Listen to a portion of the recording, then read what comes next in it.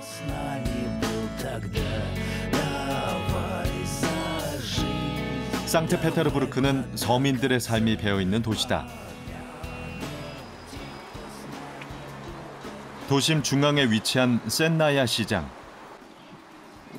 도스토예프스키는 소설 죄와 벌에서 가난한 서민들의 절박한 삶을 사실적으로 묘사했다.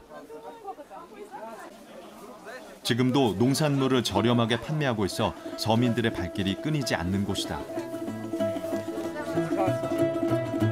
먹음직스러운 과일들이 눈에 띈다. 상트페테르부르크는 과일 수확량이 적어 중앙아시아에서 수입하는 경우가 많다. 자세히 보니 과일의 모양이 특이하다. 이것이 복숭아라고 하는데 모양이 넓적하다. 양파도 넓적하게 생겼다. 크기가 수박만한 과일도 있다.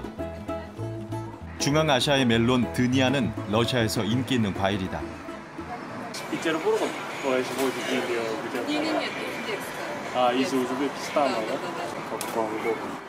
낯선 이방인이 관심을 보이자 그 자리에서 잘라 속을 보여준다.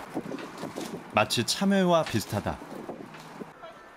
친절하게도 시식을 권한다. 드니아는 아주 달콤하고 맛있었다. 시장 한편에서 김치를 판매하는 가게를 발견했다. 그런데 우리가 먹는 김치와는 다르게 생겼다. 이것은 오래전부터 러시아에 정착한 고려인들이 만든 김치다.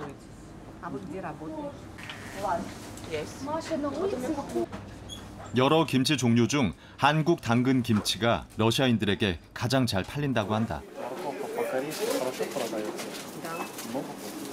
음, 많이 파신다고.